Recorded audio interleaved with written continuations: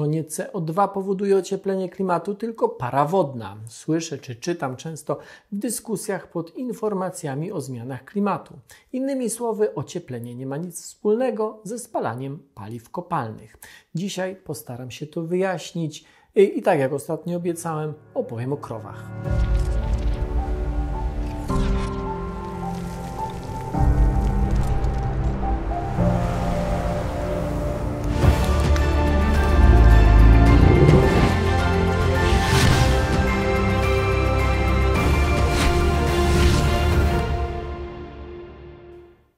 Para wodna jest gazem cieplarnianym, podobnie jak metan. Mówiłem o tym w jednym z pierwszych odcinków cyklu Jak działa klimat.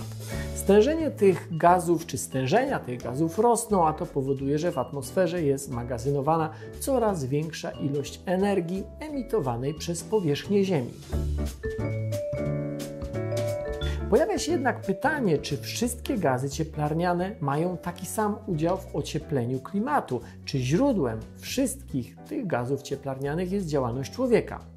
I tutaj pojawia się często powtarzane stwierdzenie, że poziom CO2 nie ma żadnego znaczenia dla ocieplenia, bo prawdziwym jego źródłem jest rosnące stężenie pary wodnej. Dużych ilości pary wodnej człowiek nie produkuje w żadnym procesie przemysłowym, a jej źródła są naturalne, czyli Globalne ocieplenie nie jest spowodowane przez człowieka, tylko jest czymś naturalnym. Prawda to czy mit?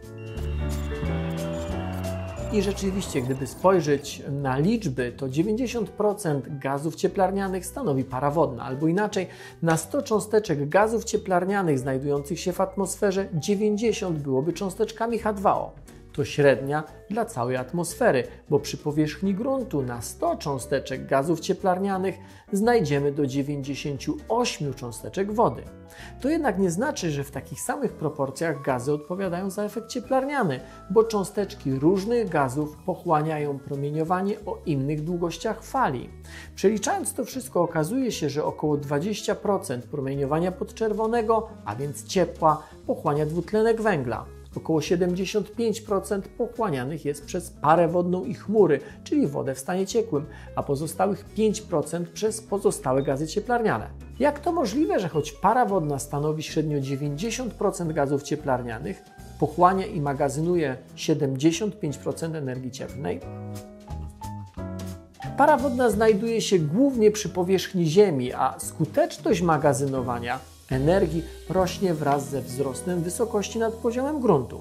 Dalej jednak para wodna magazynuje trzykrotnie więcej energii niż dwutlenek węgla. To fakt, ale stężenie pary wodnej jest silnie uzależnione od kilku czynników, a tym, który jest najistotniejszy, to temperatura. Zgodnie z równaniem Clapeyrona, stężenie innych gazów cieplarnianych od temperatury nie zależy. Innymi słowy, zmieniając, zmieniające się stężenie H2O nie jest przyczyną rosnącej temperatury, jest skutkiem rosnącej temperatury. Albo jeszcze inaczej, po to, by wzrosła ilość pary wodnej w atmosferze, musi się podnieść temperatura, ale po to, by podniosła się temperatura, ilość pary wodnej wzrosnąć nie musi. Zatem mówimy, że para wodna jest albo właściwie odpowiada za za tak zwane dodatnie sprzężenie zwrotne. Gdy z jakiegoś powodu, a te powody omówię w kolejnym filmie, rośnie stężenie pozostałych gazów cieplarnianych, natychmiast rośnie też stężenie pary wodnej. Najpierw gazy cieplarniane podnoszą temperaturę, na skutek tego zwiększa się tempo parowania wody z powierzchni gruntu, więc rośnie stężenie H2O w powietrzu, a to dodatkowo podnosi temperaturę. Para wodna nie jest więc źródłem zmian klimatu, ale te zmiany wzmacnia. Paradoksalnie działa to także w drugą stronę. Gdy z jakiegoś powodu stężenie gazów cieplarnianych spada, temperatura zaczyna też spadać. To powoduje, czy to spowodowałoby spadek ilości pary wodnej w atmosferze. Jej nadmiar spadłby jako deszcz albo śnieg. Zaczęłyby się wtedy powiększać czapy lodowe, a wieczny śnieg pokrywałby coraz większy obszar na północy i na południu. Mielibyśmy epokę lodową. Gdyby z atmosfery wyrzucić wszystkie gazy cieplarniane, mimo tego, że na planecie byłoby tyle samo wody co dzisiaj, podgrzewający efekt pary wodnej przestałby działać. E, gdy grupa badaczy z NASA zrobiła symulację, okazało się, że usunięcie wszystkich gazów cieplarnianych obniżyłoby temperaturę Ziemi o 35 stopni Celsjusza i to w zaledwie kilkadziesiąt lat. Ziemia stałaby się planetą lodową i mimo tego, że jesteśmy całkiem blisko Słońca, ziemskie oceany byłyby całkowicie pokryte lodem. Trochę wyprzedzając temat kolejnego odcinka, nie chodzi więc o to, by pozbyć się wszystkich gazów cieplarnianych, ale by nie zmieniać ich ilości. Zrobienie tego powoduje dodatnie sprzężenie zwrotne. Im wyższa temperatura, tym więcej czynników, które dodatkowo podnoszą temperaturę. Gdyby w atmosferze nie było pary wodnej, podwojenie stężenia CO2 podniosłoby temperaturę o nieco ponad 1 stopień Celsjusza, ale z parą wodną i innymi efektami wzmacniającymi podwojenie ilości CO2 podnosi temperaturę atmosfery o około 3 stopnie Celsjusza.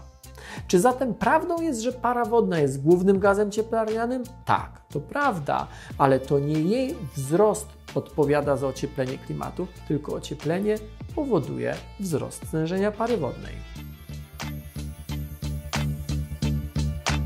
Początku filmu wspomniałem o tym, że będzie dzisiaj jeszcze o krowach, albo ogólnie o metanie, którego źródłem jest hodowla zwierząt, albo jeszcze inaczej produkcja mięsa i produktów zwierzęcych. Emisja gazów cieplarnianych związana jest ze zmianą lasów na pastwiska i pola, na których rosną uprawy, z których później powstaje pasza. Ponadto mm, tereny, na których prowadzony jest wypas bydła, pustynnieją, czyli przestają być magazynem węgla. Do tego trzeba doliczyć produkcję nawozów sztucznych, bez których nie powstanie pasza. A do tego ogrzewanie hal, transport, maszyny rolnicze, zamrażanie produktów czy półproduktów zwierzęcych, pakowanie. To wszystko wymaga energii. Często jest źródłem sporej ilości gazów cieplarnianych. To wszystko zostało podliczone, a źródło tych wyliczeń znajdziecie w opisie do tego filmu. W sumie przemysłowa hodowla zwierząt daje kilka procent światowej emisji CO2, ale do tego trzeba jeszcze doliczyć metan. Zwierzęta emitują metan, bo trawią, a ten gaz jest efektem ubocznym tego procesu. Ponadto to, co wydalają, ulega rozkładowi, a to także jest źródłem metanu. Gdyby to wszystko podsumować, hodowla zwierząt to około 15% całkowitej emisji gazów cieplarnianych, czyli mniej więcej tyle, co stanowi światowy transport. Zresztą wyraźnie widać to na tym diagramie. Z obliczeń wynika, że zmiana diety na wegetarianizm albo nawet weganizm mm, nie wystarcza do zmniejszenia ilości gazów cieplarnianych do poziomu sprzed rewolucji przemysłowej.